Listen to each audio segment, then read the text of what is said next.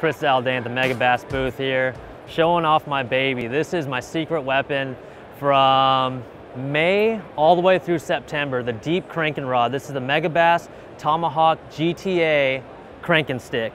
And uh, the thing about this rod, seven foot 11 overall, this is Megabass's premier composite fiberglass blend rod.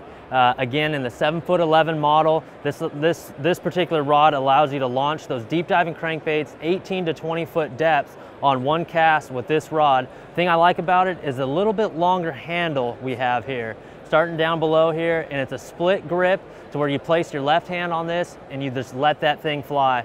And going up here, we got the ACS uh, reel seat here um, and just an awesome fit all the way around. Uh, this rod's available in a seven foot 11, a seven foot, and a six foot eight. The Megabass Tomahalk GTA.